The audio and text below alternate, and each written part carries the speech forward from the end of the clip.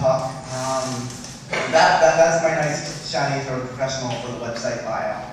Uh, sort of been racking my brain about how I frame uh, this talk, because it's something that's uh, I'm super passionate about, something that uh, is very important. Uh, my actual bio is that I am a, uh, one of the few, probably the only developer in the industry from the, uh, from the Vivian Lee Trailer Park in rural Summerside, Prince Edward Island, Canada. Uh, I grew up playing games there. There's lots of people who did play games there, but I'm the only one. Um, I, I consider myself incredibly, incredibly lucky, uh, but I grew up with a very, very clean, keen understanding and demonstration of class dynamics uh, that sort of factored the way I frame uh, everything that, uh, that, that I've encountered since I've been lucky enough to be working in the game industry, particularly in social games. Um, so I just want to talk about some of the sort of the research and things uh, that I've uh, come across. Now I will say I am not an economist.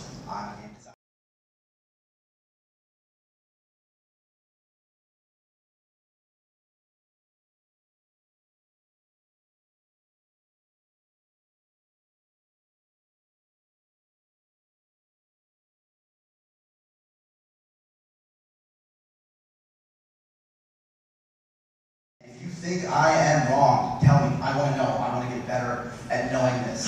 I want to get better at being being somebody who gets these sort of uh, problems and uh, solutions addressed. So by all means, I once again, this is a co- context of discussion. Um, so that's.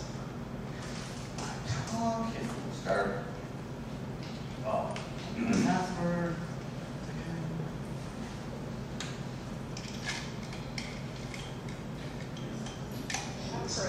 There we go. Yeah, so at least your parents have a basement. Um, didn't grow up with one for the longest time. So, things I'm going to talk about.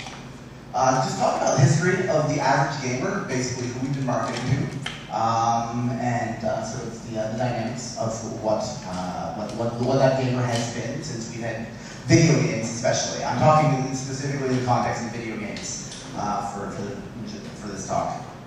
Uh, then we're going to look at the history of the, uh, the average developer, who the person making the games has been. And after that, uh, look at projections about where the trends of those things are maybe leading us. Uh, I've got good, good projections and bad projections. It's really up to us. And when I say it's up to us, then you know we'll discuss the solutions. Um, so the gamer, uh, I just want to talk about price points for entry. Um, you know, video games started off for 25 cents. For a long time, that's what it was. Uh, the arcade model. Uh, it's pretty much gone now. So I, you know, I'm, I'm, aware it's super, super important in history, uh, but it is not really part of the future projections that I can see. I, I wish I was wrong. I'm a big fan of the arcade industry. But, uh, but I'm talking specifically now uh, about our future being mobile, console, and PC. So that means uh, a little bit more uh, dynamics here uh, for the numbers. So once again, apologizing for this being a little bit number heavy, but I like to have edits. Um, so here is basically the console prices for the console industry. Uh, and it's been adjusted. Now, I was looking up to do the spreadsheet myself, found this one uh, specifically on 1UP. It's one of the great things about researching the game industry, something's usually get you to it. Um, so, and the thing I uh, very particularly note is that for, for the most column on the right, the number of hours of labor that the average person would have to do uh, at the time of the release in order to earn the amount of money to, uh, to buy that system. And we'll, you can see here, of course, the, uh, the luxury systems, 3DO and the Neo Geo at the top. Um, and then down at the bottom, you'll see a whole lot of Nintendo. Uh, so they've obviously uh, had, had a keen eye on uh, keeping those prices low, uh, but not always. The NES, their, their first one, is uh, the highest one on there.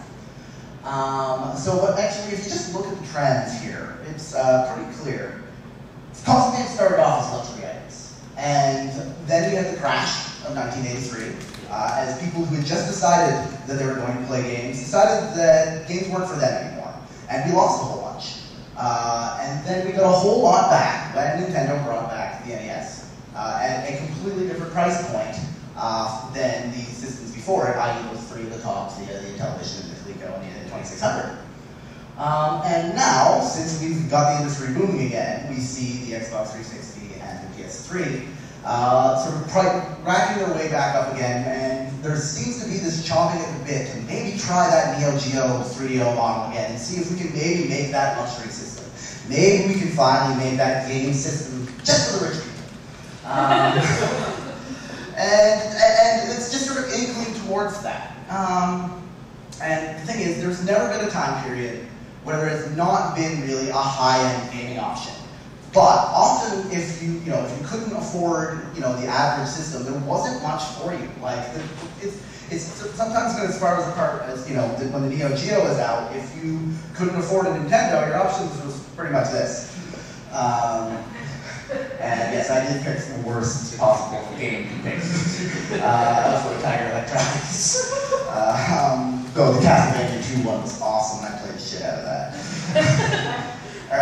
So now here's the thing about this is we should, the other factor, and I can even go back quickly, and if we just look at the average annual wages, you know, that's another factor in here, in that that is also a problem in that in only two of the 30 years consoles have been around, has the lowest fifth, 20%, the lowest fifth quintile, had greater gains than the median, or even equal gains to the median. The difference has been averaging about $987. I mean, that's how, that's how much in the whole the bottom of the economic strata is sort of staying at um, in, terms, uh, in terms of uh, earning power. Uh, and buying power has not got much better for them. Uh, wage increases for the bottom 20% have only matched inflation four out of those 30 years. Uh, the difference averaging to be about 2.6% less. So what this means, means that consoles are getting further and further and further and further away from being accessible to that lower 20%, though they have been, and some of our greatest times of prosperity as an industry have been when they actually have been accessible, but they're still getting further and further away. So consoles are not just for the rich yet, but they're certainly not for the poor, and that situation is getting worse. But wait, what about mobile? Everybody's got mobile. Everybody in the trailer park's got a phone even. And that's the thing, and that's a big new industry, and there's so much investment, and mobile is going to be the thing that saves us, right? Well, we gotta follow the money. Because when you're talking about mobile for lower class, you are talking about Android. We have to be perfectly honest about that. It's the fastest growing market for phones. It's fastest internationally, but it is the fastest growing specifically because of gains in that, that particular economic strata. And Android developers are 7% of what iPhone devs do. So if you want to make games specifically and say, hey, I'm going to make games for, you know, for, for this economic strata, then uh, you've got a really risky decision that, you, uh, that, that, you've got to make as a developer uh, to, uh, to you know, specifically put it on Android uh, as opposed to the iPhone, or even tailoring an Android game differently. Um, and because it's a huge, huge deal. The iPhone as business is nearly twice the size of Google's entire operation. We like to think of Google as a gigantic monolith that brings in a lot of money. But compared to the iPhone, they are really just a drop in the bucket when you're talking Android versus iPhone specifically. The iPhone being a luxury device. Now, I have one, don't get me wrong. Like, I, you know, I, I, picked, I picked one up specifically because I needed one in the industry when I got in. It was just an absolute fact. But when I go back home to PEI, none of my friends have any. So I can't make games for them if I'm making one iPhone. Business is indicating the cheaper phones are second-class citizens. It is a secondary market, despite the fact that it is growing rapidly, uh, especially growing internationally, and that people will actually, especially in free-to-play models, actually pay on the Android. You, if you, the money that comes from Android generally comes from free-to-play models, and they actually tend to, free-to-play games tend to do better on the Android than they do on the iPhone. So the question is, okay, cool. Is that really, does that answer all the questions? What do we do? I mean, what do we do? But we have to figure out who we are and, and who we've been in order before we can really address that. So the developer, let's talk about us. So I want to talk about price points for entry, and I want to include it in that is price points for the education that, it, that it's traditionally taken to be a developer uh, in this industry. So, um, did everybody, uh, how many people heard about the Ouya the, going up? Yeah, that, and I got, saw that, and I was like, wow, $99 console, open source, super excited that this is going. I was like, okay, this is going to be a great thing. Then I watched the video. And I watched the video of that, that nice, super professional lady uh, talking about it, and she was all like, I remember the days when you only had to have one computer to be a developer.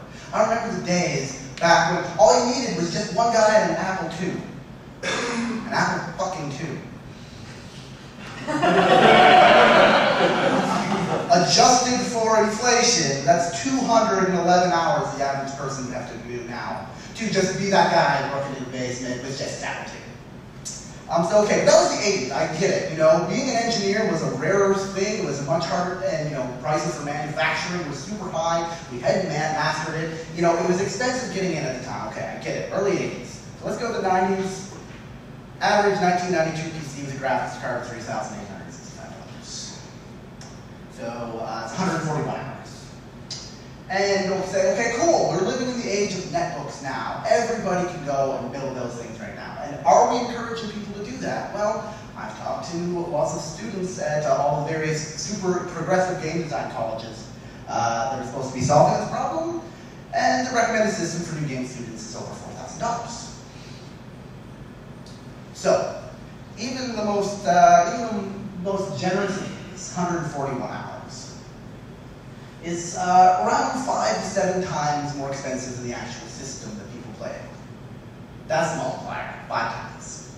So generally that means you would have had to have, you or your family would have to have five times disposable income to be a developer than you do have to do